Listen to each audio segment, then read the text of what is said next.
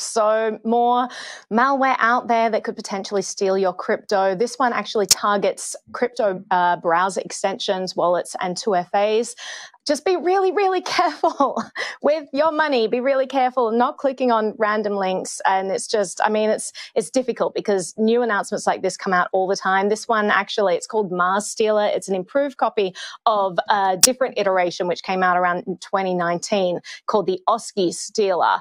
And the idea is that it uses this custom grabber. It retrieves its configuration from the command and control infrastructure, and then it proceeds to target application data and popular, as I said, web browser extensions wallets, 2FA.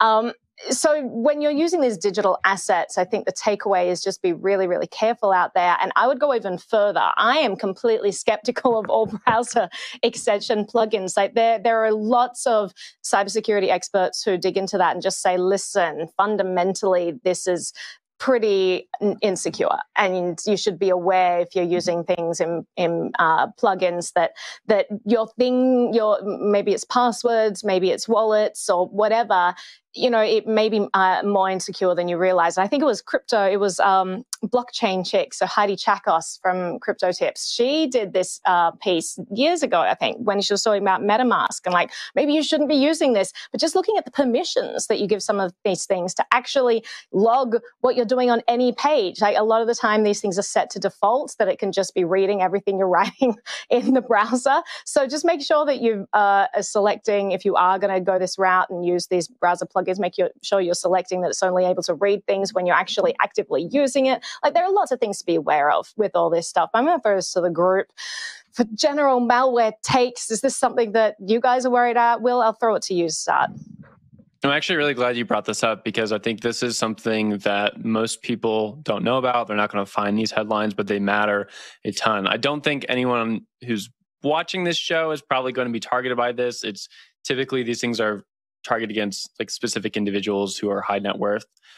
But that doesn't mean that's not a good opportunity to learn about protecting your private keys. Naomi might disagree with me a little bit, but I think for the most part, like 95% of people are not going to be hit by something like this but it is a really good opportunity to learn about how to protect your private keys, especially something like MetaMask, which most people have in their browser at this point who are involved in crypto. It's very easy to swipe those keys and steal your tokens. That's been the whole thing with this Bored Ape Yacht Club, this huge NFT community that continues to have their seed phrases stolen over and over again. And the simple reason why is because they share their seed phrase when they shouldn't. That's the number one rule in crypto. Don't share seed phrase. Don't even share it with your mother. Don't share it with your dad doesn't matter. Don't share it. Go to the grave with that as opposed to sharing with anybody unless you have some sort of protective scheme set up like Casa or a multi-sig, but we can get into that later. I think the importance of these stories is just teaching people about the basics of how to protect your wallets. And Naomi, I liked what you said use cold wallets, use offline storage, use something like that. An in browser wallet, it's very susceptible to being swiped. And if you have a lot of money on there, you're going to have a bad day at some point. Something's going to happen, it's going to be swiped. It might not be this Mars stealer, but there's going to be something out there that's going to steal your coins. But you might disagree with me on the susceptibility. So I actually want to hear that because that might be a different threat model than I would kind of assume this would be towards. Yeah, and uh, to be specific, I think that browser plugins are far more insecure than, say, like a hot wallet on a website. Um, just by their inherent nature, it's uh, there's a lot of stuff that's transmitted in the clear that people don't realize. Like it's it can get pretty murky uh, when, when it comes to security, and it's probably not as secure as you may presume, given that it's like everywhere in the crypto world, everyone's using these things.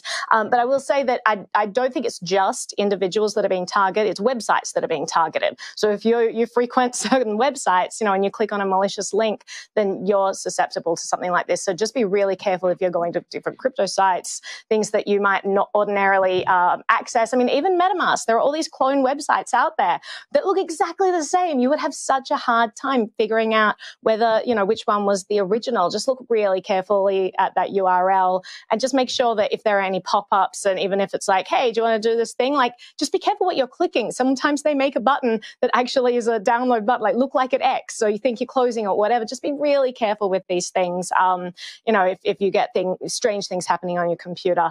Um, and there are lots of websites out there that will give you extensive tips on how to, you know, navigate these waters and what to do in certain examples. Probably too much to go into in this this show, but I think Will, you gave some great tips there. Storing your crypto offline is an immediate, uh, really good step that you can take there. But Jen, I'll throw it to you. What are your thoughts on all this?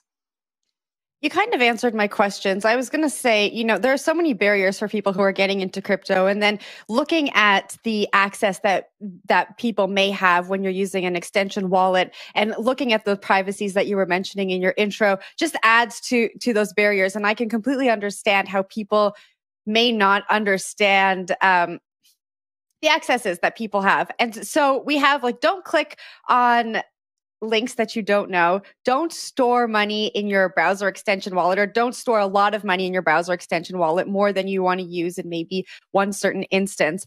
I was going to ask you Naomi, what are what are some other tips that, you know, newbies should keep in mind when they're entering the space, but you've kind of answered it. And maybe you can direct people to uh, a source of information where it's easily accessible and easily digestible.